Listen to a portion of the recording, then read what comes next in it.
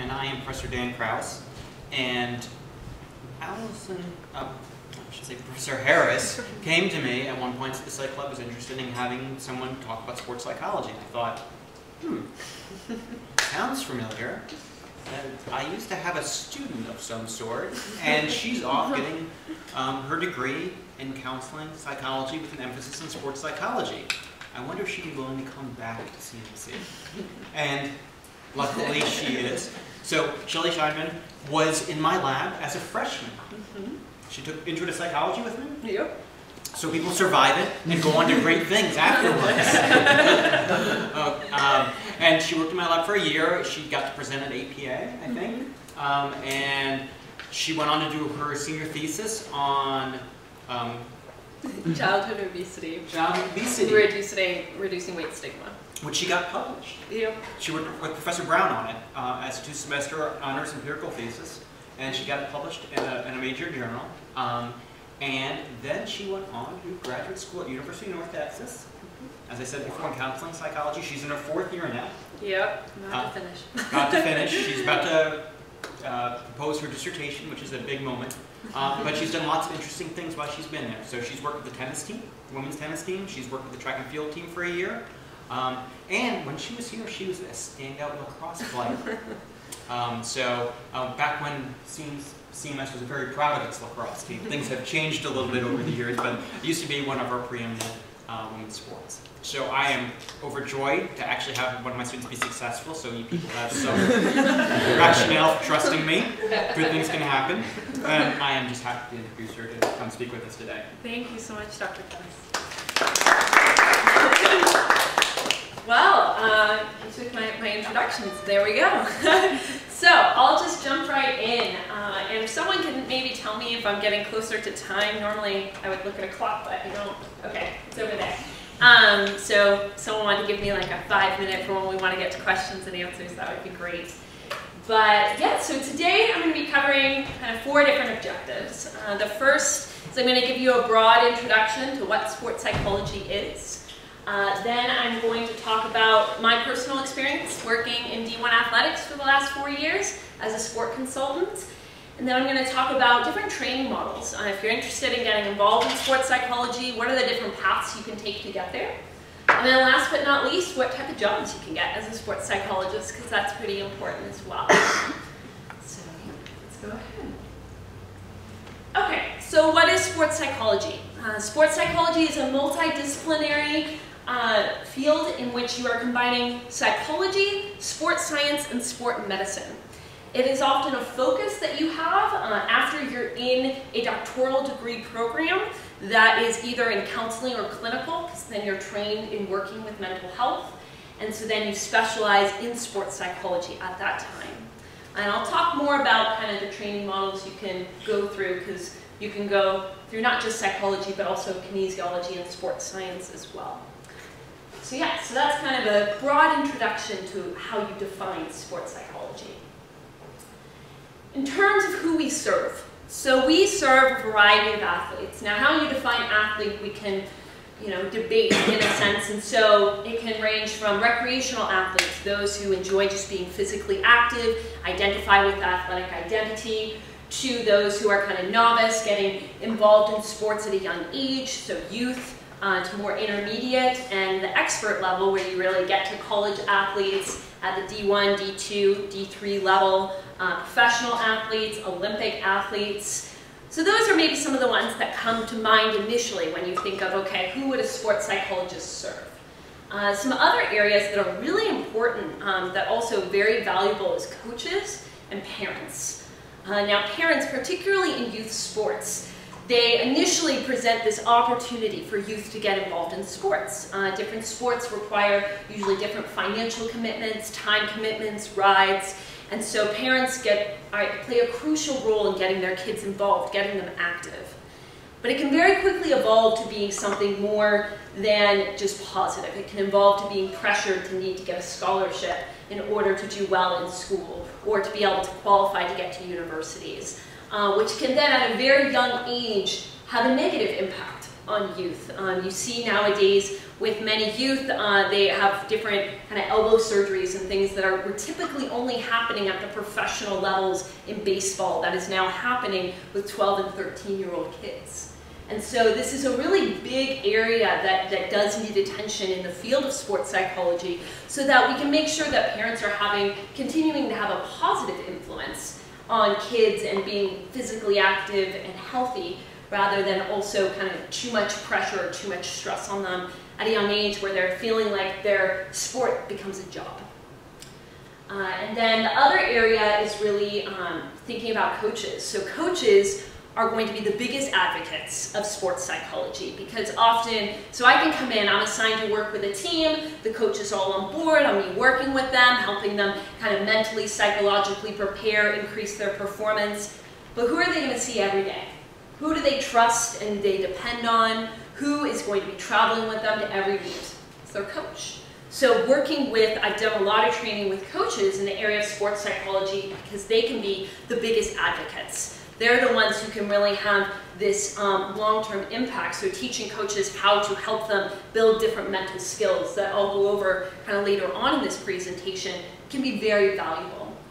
Uh, and also having a coach who's open to that. Uh, you often kind of um, in D1 athletics and across all, all, all different levels, you have some coaches who are going to be open to learning more about different techniques and those also who really want to stick to their traditional models, stick with what they know that works. So you have to be able to work within the field of sport and know the culture, know where you can and can't have access. Uh, so yeah, so that's kind of a summary.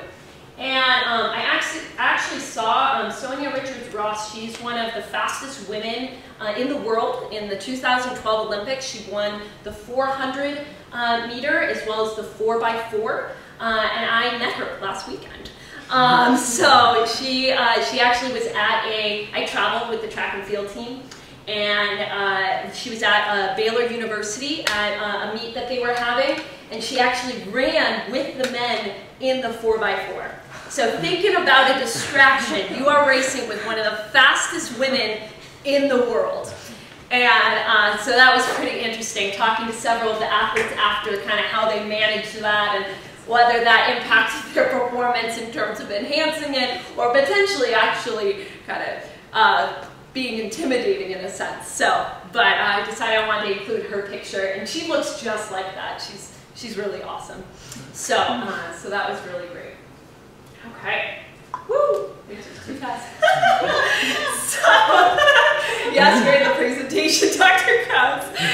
So, uh, so moving on. So, what do we do?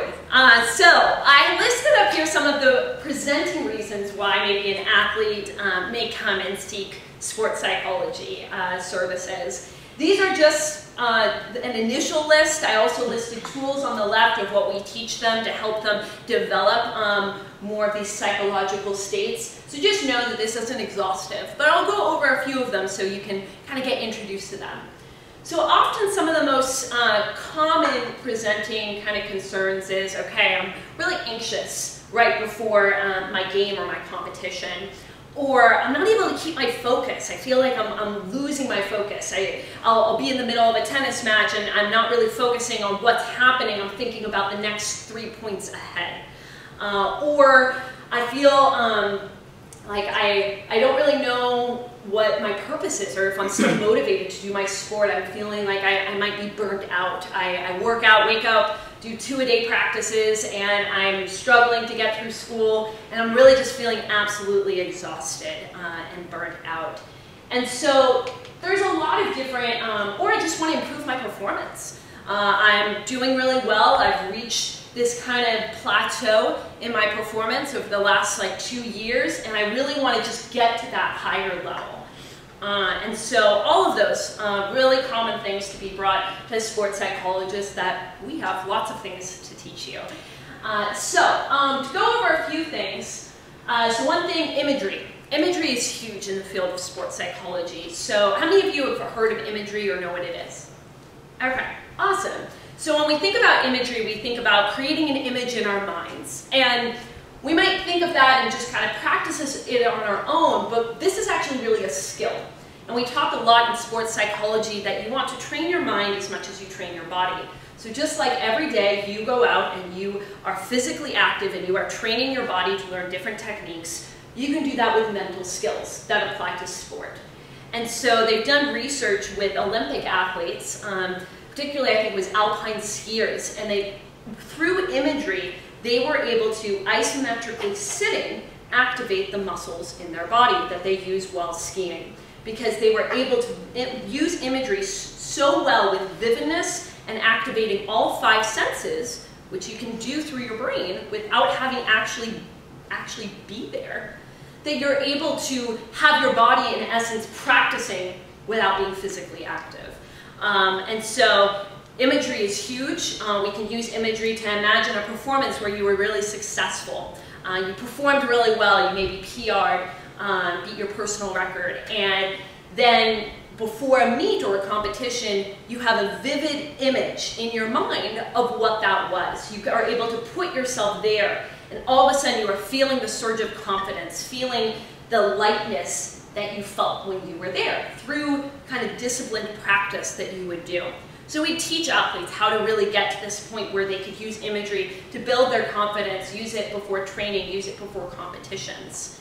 Uh, another Another maybe um, issue we get is uh, athletes who are so anxious, it's presented physiologically. So you get really tense, uh, you feel like you have to get sick or you have to use the bathroom right before you're about to compete.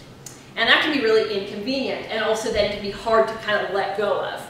So something that we might walk them through is called progressive muscle relaxation. So um, you guys are familiar with psych majors, classical conditioning. So in general, that's just kind of the pairing of an unconditioned stimulus with an unconditioned, an, an unconditioned stimulus and what will eventually become a conditioned response. Uh, and so essentially what you're doing in progressive muscle relaxation is you are having an athlete tense different muscles in their body and relax. And when they're in a relaxed state, you are saying a cue word, such as calm or relax. And you have them go through all the muscles in their body, starting with really specific of tensing your forehead or tensing your jaw um, or tensing kind of different muscles on your arms. So you have that control to eventually kind of being the whole arm um, or the whole leg. And it's over a series of weeks that you basically do this pairing between uh, kind of your body when you're in a relaxed state and this cue word. So that eventually you get to the point where you can actually be right before a competition, you say the word calm, your body naturally just relaxes because you've conditioned it. You've trained your body to be able to relax when you want it to. Um, and you've, you've done this over time. So this is a very well um, researched um, technique uh, that's really interesting uh, and fun to do um, with athletes. And so if you see a video of it, if you imagine like an athlete sitting in a sheet, sitting in a chair, just tensing and relaxing different muscles, it doesn't look like they're doing that much, but you're really training your body. Um, and I think when you think about you're at the Olympics or you're at a professional level, that there's going to be a lot of things that are anxiety provoking. Being able to instantly relax yourself is going to be really valuable. Um, so these are, you know, things that differentiate athletes who, you know, do it recreationally to those who are really at the elite level, how they get there. Um, another, I guess I'll go over kind of the spotlight metaphor. So I used the example before of an athlete will come in, gosh, I keep losing my focus. Uh, or we'll say that in school, I, I lose my focus. Uh, you can imagine your focus being like a spotlight. So your focus, you actually never lose it, it just goes somewhere else. So it's just going towards something that you don't want it to go to. Uh, whether it's going internal or external or to your competitor next to you or to what you eat for breakfast or how stressful any family event is or things like that. So you, you never lose your focus, it just goes somewhere else. So with that in mind, you gain a lot more controllability over your focus. You can learn how to specifically kind of train yourself to come back to where you want your focus to be and with intentionality think right before a meet, okay, what are my three specific things that I want to be focusing on? Um, really, that can apply to any sport. Um, so we think a lot, a lot about that. Uh, yeah, so I think I spent a lot on this. I'll move on to the next one. Okay, so my background. Uh, Dr. Krauss did a great introduction uh, to kind of describing me a little bit. So I'll maybe talk a little bit more about my research um, so that you can kind of see how I go from kind of the research to the clinical practice because scientific practitioner model is definitely something that I'm a big advocate for. So, uh, started off at CMC uh, and I actually came in as an international relations major. I did not know that I was going to go into psychology. And after taking Intro to Psych, and this is no joke, I'm not just saying to flatter him, after taking Intro to Psych with Dr. Krauss, I decided to become a psych major, and he became my uh, advisor. And I worked in his lab, which was an amazing opportunity. It was a time to just get introduced to the area of research in psychology, and at the time we were looking at jury decision making, uh, which I'm not sure. I'm sure it's evolved to different different areas and similar as well. Um, no, I just do the same stuff. Over. Yeah. well, replicated reliability. Um, and so, so anyway, so that was a really phenomenal experience. And I then kind of over time, I, I got some internships over the summer. Uh, I worked at Harvard Medical School for a summer. I applied to an internship there because my interest again was in kind of weight stigma, childhood obesity, helping kind of create a more positive image of youth um, who are struggling with health issues. And so Went to Harvard Medical School in that area, working on that for one summer, and I came across a sports medicine doctor. And he, um, I just happened to get in a conversation with him, and he told me about this field of sports psychology. And I said, well, what is that? That sounds amazing. It combines my two favorite things, sports and psychology. This exists.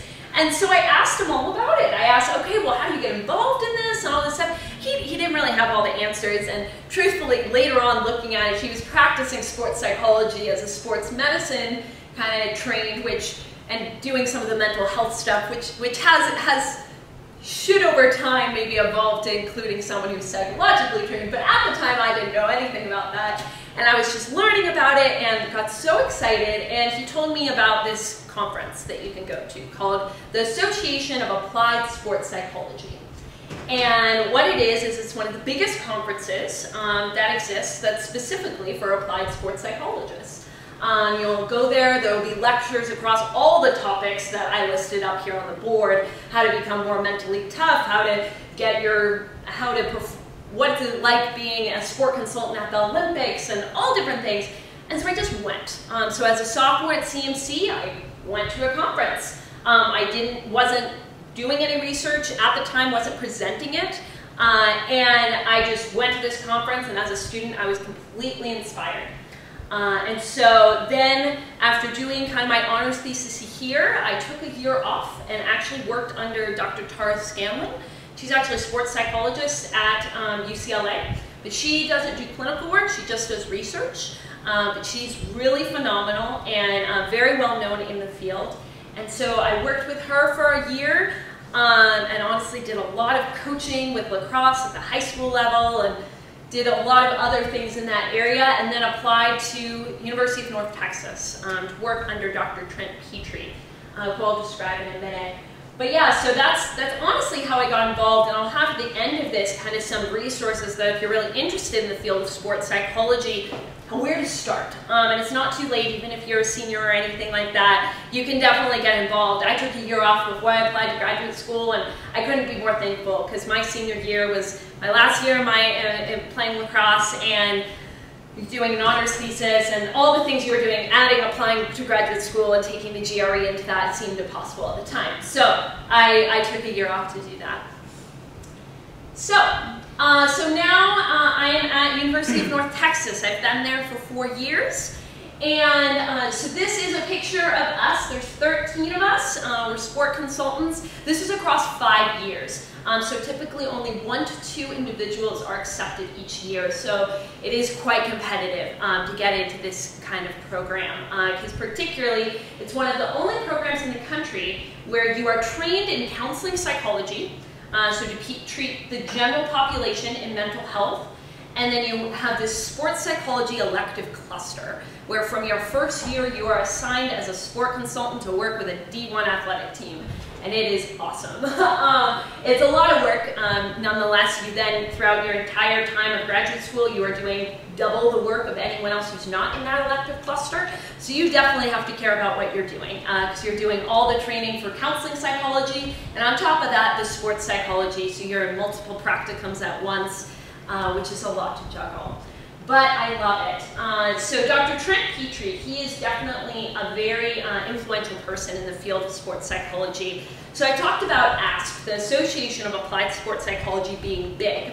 Now you imagine APA, and I'm sure all of you are familiar with that, if at the least, at least the formatting of it. um, and so APA, they have a division called Division 47. This is Sport and Exercise Psychology. So he was the previous president of that um, for the past two years. Uh, and so he's now, it's now moved on to a, a, a, new person, but Dr. Tara Scanlan was also a previous president. And so thinking about kind of within this field, um, these presidents are very important people. Uh, they're usually those who've worked at the, with the professionals, the Olympic level, uh, really have gotten to the very top. So there are people who are very influential in the field of sports psychology. And so some of his research interests um, include kind of psychological consequences of injury, uh, mental toughness, uh, working with athletes with concussions and neuroscience components, uh, body image, eating disorders in athletes, really common, uh, and a variety of areas. But that's really how I found this school. Uh, that's how I got involved. The University of North Texas is that when I was applying to graduate schools, I just found professors who were doing research that I found interesting. Because in the end of the day, so when it comes down to they're only taking one or two students, you need to convince a professor that if they take you on, that is the best decision they will be making. Uh, that essentially you want to go into an area of their research because essentially they are choosing you as their one student that they can take on that year and will then have for the next four to five years. Uh, so it's, it is possible, uh, it definitely is, but it's something um, you definitely want to show commitment or have a background in research prior to applying. Um, if you have more questions about that, I can definitely uh, answer. Uh, but overall, one other thing I want to say, so University of North Texas, you may have not heard of it before, but it is bigger than UCLA. So there are 36,000 students there. Uh, so it is a huge university in Texas. And so when you think about, we are the 13 sport consultants assigned to the entire athletic department. Uh, so we are working with all the teams um, that are would like to have us. So we work with swimming, we work with tennis, we work with softball, golf, track and field, football, basketball, um, a lot of really big sports um, that are very important um, to the university and honestly bring in a lot of um, the school's income. So uh, we play a really big role with that uh, and so wanted to kind of emphasize that. Okay. So, who have I served? Uh, again, Dr. Krauss went over this a little bit, but I'll describe it in a bit more detail. So I started off with tennis uh, my first year. Uh, tennis was definitely an interesting experience for me. Um, it was at the D1 level, so all of the athletes who were there were actually recruited from Eastern Europe. Um, so English was their second language. Uh, so that had definitely some uh, some challenges to it. Uh, and I enjoyed working with it. It was an unbelievable experience. There are eight um, women uh, tennis players who I worked with. Uh, I didn't work with any of them individually, but I did work um, kind of at the more team level, doing, doing different team building activities, uh, working with the coaches, traveling with the team. Uh, and then after that, I actually started uh, working out in the community. Uh, so I spent a year of my practicum going to local high schools and working with coaches on um, how to improve creating a more motivating, positive um, training environment in which they were going to help kind of improve just this enjoyment in youth sports. Uh, and so that was really interesting. Also gave a lot of lectures to parents on how to help them uh, kind of have this positive impact uh, on their athletes um, during this critical time of their lives. And so that was really great because as a sports psychologist, it is a, it's a niche. And so you want to be able to kind of expand that beyond just what you're doing um, kind of at the university, but extend it to the, to the broader community. So that was great. Um, then for the last two years, I've been with track and field. They so went from eight athletes to 80. Um, so that's a lot. Uh, so 80 athletes. Um, there's actually three of us who work with track and field. Uh, I'm the only female, and then we have two other males who work work with me. And, um, and right now I'm kind of the advanced doctoral student working with them, so the lead sport consultant. And so it takes, takes a lot of time. Uh, it is a lot about sports psychology, particularly with teams, is about building relationships. Uh, how can you get coaches who, again, who've been coaching for 30 plus years to really care what you say? uh, they're looking at you, and I'm in my mid 20s now, and so they're thinking, okay, what does this person kind of have to say about something that I've been doing for so long? And, and you can't also guarantee that they're going to win uh, because we can't control those factors either. And so it's a lot about building that trust, uh, building that alliance with the coaches, helping them see the benefits of having you and seeing you as an asset so everything you can do from just showing up to practice. Um, so even though I am no longer a college athlete, I go to practice every week. so I go to practice and I am on the track and field for at least five to six hours a week. Uh, just because my presence of being there shows my commitment uh, to them and commitment to seeing what they're going through. Uh, a common saying in track and field is what other sports punishment is is our sport. so, uh, so you have quite um, quite interesting personalities, and with this across all the different event groups, you definitely have different personalities and different almost minute sport cultures that are happening uh, of those who are throwers versus those who are sprinters and um, the cross-country teams. And so I'll talk in kind of the next slide about some of my work individually with them. Uh, but that's been really great. And then last but not least, uh, I've worked on what's called a psyching team uh, with marathon uh, runners. How many of you have heard of that, or has anyone? Probably not. Okay, so this is really cool. So I myself, I'm uh, after I finished um, being at CMC, I was used to working out a lot. Uh, I've been an athlete my whole life, and I thought, okay, what am I going to do? Even though I'm in a doctoral program and I'm extremely time consuming, I have to stay active. So I decided I was going to run a marathon. So I did about four or five half marathons, and then last year I ran my first full marathon. And so I started like really applying sports psychology to myself because I was really kind of being disciplined and somehow waking up at 5 in the morning and going for a two-hour run and then going and having a 12-hour day. Don't ask me where I get my energy, I was just really driven. uh, and so, but during this process, I realized how much psychology comes into that. And at a, an ASP conference that I went to, I saw that they were developing these things called psyching teams. And it really started actually in Canada um, with a woman called Kate Hays. She started the first psyching team uh, about a decade ago uh, at the Toronto Marathon.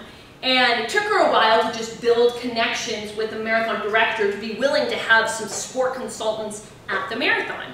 Uh, what ended up happening is that there was a athlete who almost died.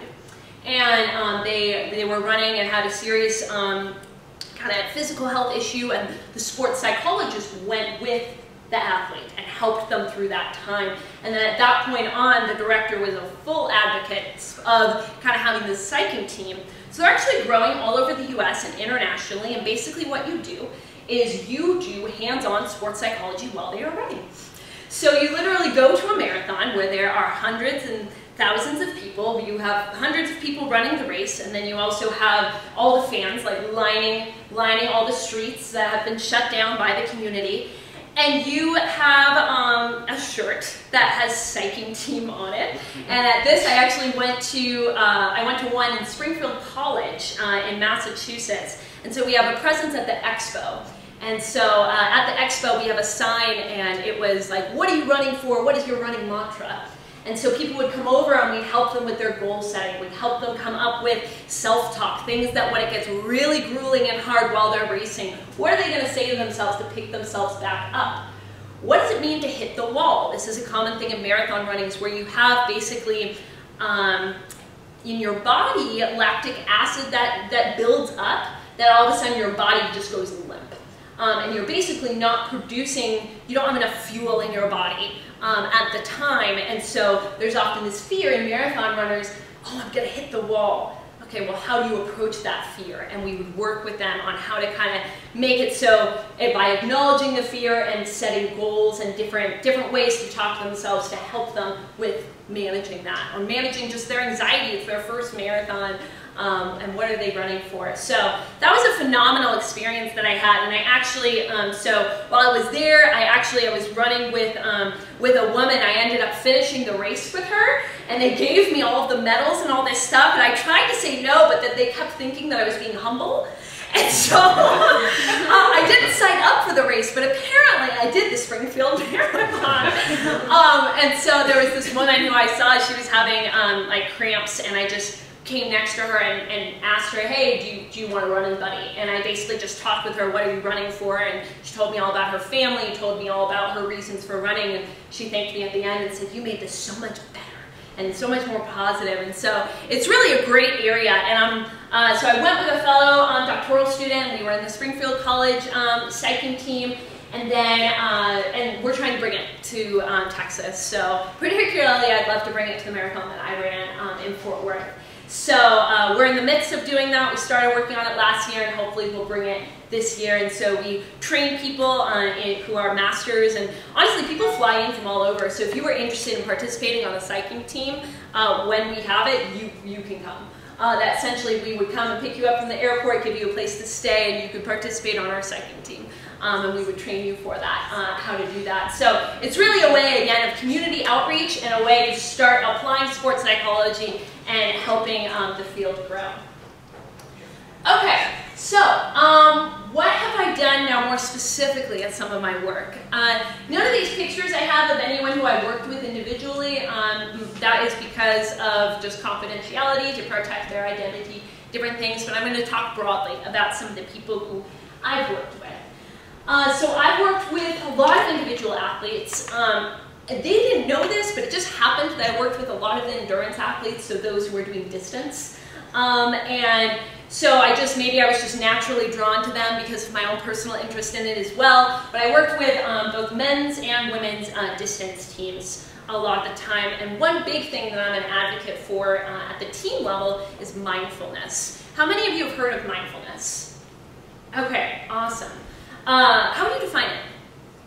Anyone know? I know I'm going into class mode, but okay, I'll, I'll describe it. Um, so basically mindfulness is being in the present moment. Uh, so being very attuned to exactly what's happening um, while you're here. So an example right now would be all of a sudden I tell you, become very attuned to what it's like having your back um, against your seat, your feet on the ground, your arms on your, on your chair, all of a sudden your focus is shifting to something else, shifting to exactly what you're doing in the present moment or to your breath. Uh, and so mindfulness, particularly with kind of endurance athletes, they've shown that at the elite level, those who are more internally aware tend to perform at a higher level um, than those who are externally uh, focused. So when you're thinking you're going on a run, you're training, um, how many of you maybe go for runs and listen to music? Okay, I do too. Um, and the reason you're, you're doing that, you're trying to kind of distract yourself, right? Because it's painful and it's hard and you're pushing through it. Those who get to a really elite level, they won't listen to music because they want to be very attuned to exactly what's happening in their body. Um, rather than not wanting to feel pain, they welcome pain.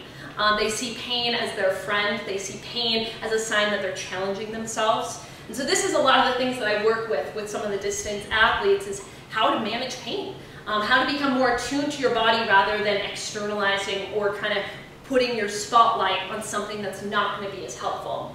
Because when you think about it, a slight adjustment in the positioning of your arms may not for a recreational athlete make that much of a difference, but that could be a second while you're running. And a second could be the difference between beating your PR and qualifying for the NCAAs or not. Um, so when it comes down to it, these really small adjustments can make a big difference and kind of how tense your body gets when you feel pain. And so being aware of exactly where you feel the pain and what's causing it, and if you're attuned to that, you're going to perform at a higher level. Uh, so I did, with the whole distance team, I'd wake up at 6 in the morning, and before they go out and train, and somehow try to keep them awake, uh, I would put them through mindfulness. I would, I would teach them how to kind of use their breath and become attuned to their bodies and then they would report back that, um, that they would use it while they're running to help with their pain, to help with kind of becoming more attuned with their bodies. Um, and I'll get into that a little bit more. I'm a huge advocate for it. I'm doing my dissertation in that area, so I'm really excited about it. Um, other things I've worked with athletes on is their self-talk. Um, so one thing that I like to use, so self-talk, um, what you say to yourself. Uh, we do that all the time, whether you think you do it or not, you're doing it anyways. Uh, and so what we say to ourselves, and this is really relevant in sports because we'll tell ourselves while we're going, okay, go for it, or push yourself, or we'll, we'll maybe swear to ourselves. We'll do all different things in our self-talk.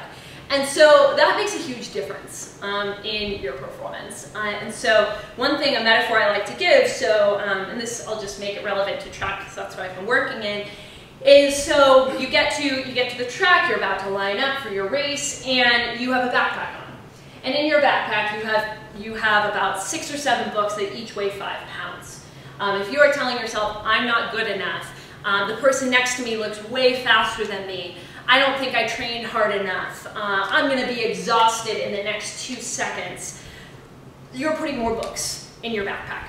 And you're about to take off, and not only are you kind of holding yourself down, but you now have this huge weight on your backpack. So when you reframe something to more positive, you are taking a book out of your backpack. Uh, and so you are literally lightening your load. If you tell yourself, I trust my training, I'm confident that I can reach my goal. I believe in myself. You're going to feel lighter, actually physically, and you will perform better and you will be more relaxed. And so uh, when I would go over this with athletes, um, I would actually bring a backpack and like have them tell me their negative self-talk and like put the books in it and make a really loud noise and then have them practice reframing it and then taking them and have them, I'd actually have them run around whether it was, I did it with tennis, I had them run around the tennis with their backpack on to let them really feel physiologically what the effect of their negative self-talk is going to do. Because imagine, you're, you're just about to serve, you're going to say, I'm going to miss.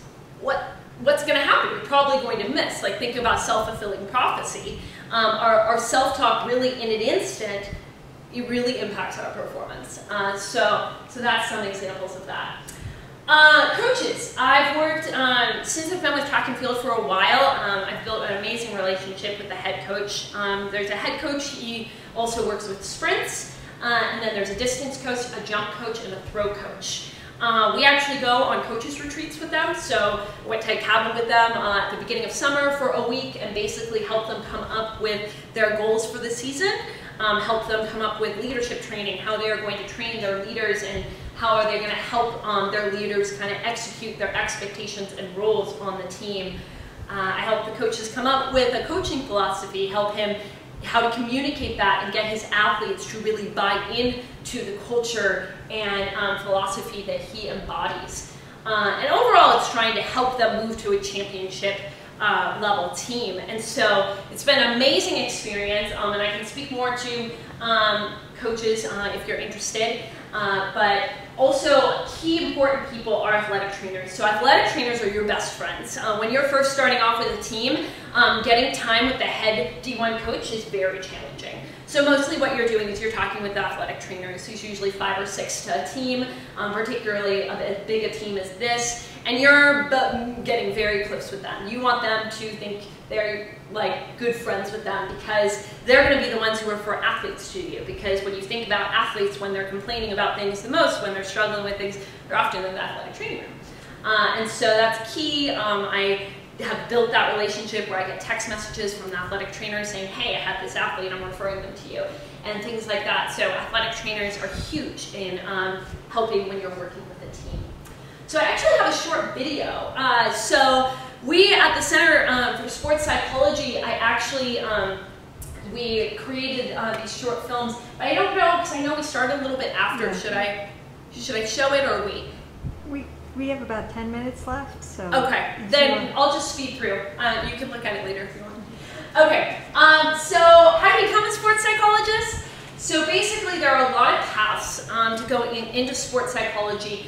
I did the, psycholo the psychology doctoral training uh, that basically you either need additional competency in sports psychology that you get through a master's before starting the program, or um, in my program, which I think there's like one other in the country, that uh, you get it while you're getting your doctorate. Um, so I I've got my master's um, a year ago, and, um, and I'll be finishing my doctorate in a year. And so then you have the, the title of being a sports psychologist. And um, in that though, before I guess you're a psychologist, like in anything, you have to get licensed. Um, so you then have, once you're a licensed psychologist, you have the ability to work with athletes um, with their mental health. Now, you can do other routes. Um, you can do doctoral training. Uh, and so in uh, the field of sports science. And so if you wanted to, and then you could potentially get a master's. Um, and so then you'd be a master's level therapist who could work in sports psychology, but you wouldn't be a sports psychologist. To be a sports psychologist, you have to have a doctoral degree in general psychology and then specialize in sports psychology in some form. Um, in this case, you'd be a certified consultant. So the Association of Applied Sports Psychology, certified consultant. So you'd be able to, um, and then of course if you go at the master's level, you would be able to work with teams, you'd be able to work with individual athletes, but if they have any mental health concern, if they're struggling with any depression, any, any anxiety that's more clinical, any home issues, stuff like that, you'd have to refer them out. Um, so I personally think that, that an athlete is really a whole person, and so I didn't want to just be working with kind of performance enhancement. I really wanted to be able to help the athlete as a whole, which was why I chose this path. However, you can choose other paths. Okay, and my last slide. Uh, so what do you tend to do? Uh, so you can do a lot of things. Um, my hope is I'm going to be at a university counseling center. Um, I hope to actually be at Stanford. Um, and, uh, and I'll be applying for that next year, so keep your fingers crossed. Uh, and but basically, you work in a counseling center, and you may see athletes who are sent there, um, who go to the counseling center, like you have here at CMC. So any athlete that would go would maybe go see the sports psychologist there, or you could actually be housed in the athletic department, and they'll be doing kind of what I'm doing now at University of North Texas, um, and working with the teams. Uh, you can work in the military, uh, kind of performance enhancement in general doesn't just apply to sports. It actually, um, it actually can be applied to a lot of different performance areas, whether that, that's military, whether that's musicians or public speakers, things like that. You can kind of go into it, but then it's not really sports psychology, it's more performance psychology, which is another area. Uh, the United States Olympic Committee, uh, they have eight sports psychologists on staff. So imagine all, so there's like one sports psychologist assigned to all aesthetic sports. So imagine a synchronized swimming, dance, gymnastics, one. so we're hoping over time that this is going to expand. They're going to start really realizing that this is going to help them. Um, and that's honestly what our training is designed to do with optimal performance. But there is stigma in the field of sport to the psychological aspect of it, which does likely influence that. Uh, sports medicine clinics. Um, very briefly, to my research area is psychological consequences of injury. So I'm actually going to be doing a mindfulness and imagery-based intervention with athletes post-ACL surgery. So I'm currently going to sports medicine clinics to recruit for my dissertation. Uh, so I'm working with, I'm hoping like 15 would be an amazing number for my two intervention groups and one control. So I'm trying to get 45 and I have a full year to try to get this, but I'm gonna be putting them through a four month intervention. Uh, one will be mindfulness based, one will be um, imagery based to help with some of the psychological consequences of injury. Uh, or a group practice, uh, or a professor and researcher. And yeah, this is, I just want to give you guys some resources and I'll be happy to give the Psych Club Mind presentation. Hopefully it has information that you find helpful. Uh, but basically, UNT Center for Sports Psychology, we have different news, um, different newsletters that we produce that um, they're not all up to date, I can tell you, but really um, valuable information just about uh, sports psychologists working with Olympic athletes, um, stuff related to coaches, athletes, students, um, across the board. Uh, and then there's little bios on all of us. You'll see a picture of me on there. Uh, follow us on Twitter. We are trying to really expand this. Um, I think we've gotten to like 500 followers, which was our goal for this year. But we're really wanting to expand that. So my advisor was wanting me to really push that forward. So follow us on Twitter. Uh, and then more resources. These I really tried to make. You can just also type in online to Google APA Division 47 and you'll find something. But these are specifically links to resources that are very student friendly, um, listing books or different area conferences um, that you can look into. And then the Association of Applied Sports Psychology. If you're interested in this, I would really recommend you going. Um, it's in Indianapolis next year. I'll be there, so if you go, you can definitely contact me. Uh, and so it's just a, an amazing way to get involved. Um, you can get involved whether you're a freshman, a senior, or a graduate. So, yeah. So thank you.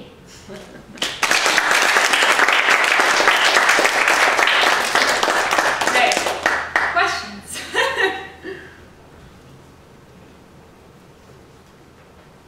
Do you find a difference in your approach towards female and male athletes? That's interesting. I think um, it's interesting because I think just in general that um, gender difference makes a difference in kind of just the relationship building process. Um, but in general, I found that the presenting concerns are very similar, just how they're presented may be very different. Um, so maybe a female athlete who I've worked with who's really anxious, maybe up up front, very um, very open about that and how that's how that's impacting them versus some of my male athletes I might have to dig a little bit deeper um, until we get to the point where we're kind of talking a bit more about about the emotions or we just talk about the physiological effect rather than the emotions.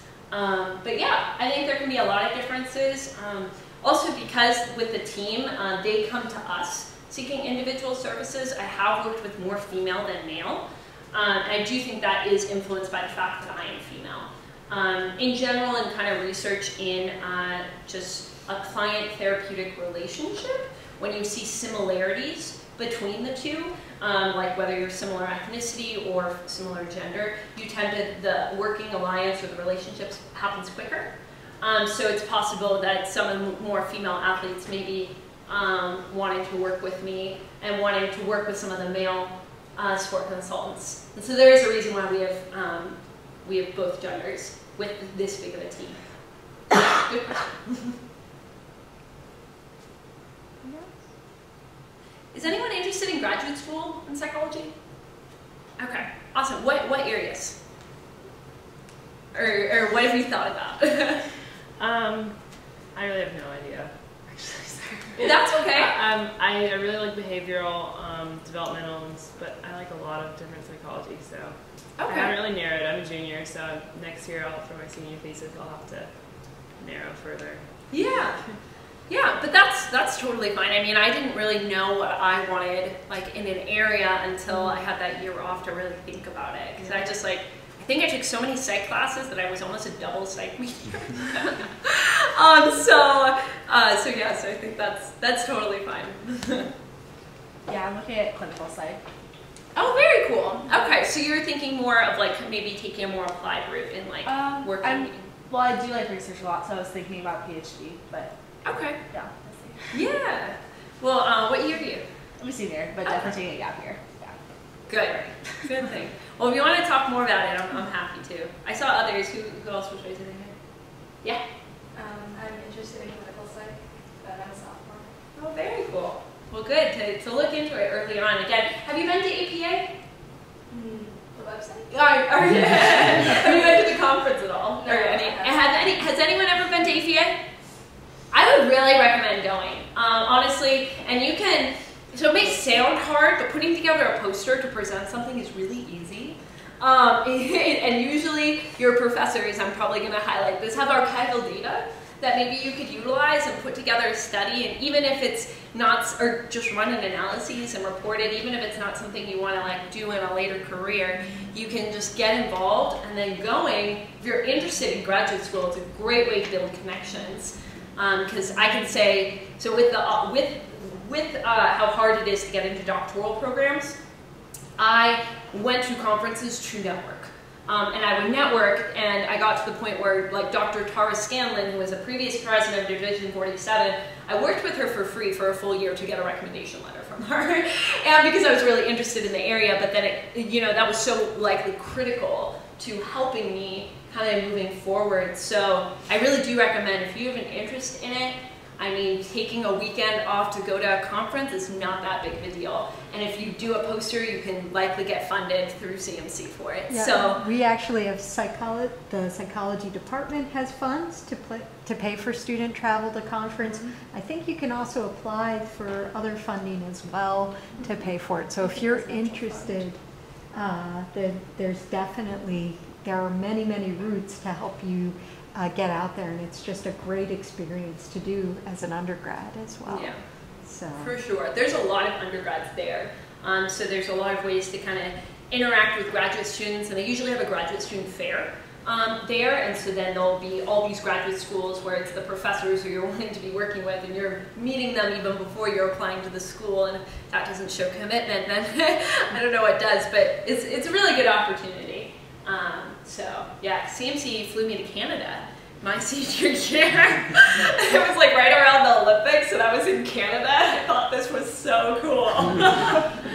so, so I mean, it's just it's amazing opportunities, and I know as a psych major, you're kind of a lot of the other departments maybe get um, more speakers or things that come in. Like when I when I was here, at least like economics and um, different sequences, they get they get a lot of attention, and so still advocate for yourself because as psych majors, you can do a lot. Um, so. Thank you so much for, are there any more questions? So you run the marathon? Uh, you know, I'm gonna, I'm doing the summer, I was just gonna do like some triathlons, I think. Um, but awesome. yeah. Yeah, I was gonna do a speed triathlon actually the other week, and I started training for it, but then I got really into my dissertation to try to get that proposed, so then I had to kind of put that on hold for a little bit. But I'm gonna get back into it for sure. Yeah, definitely. Right. Any other questions, comments? Uh, Thank you so much.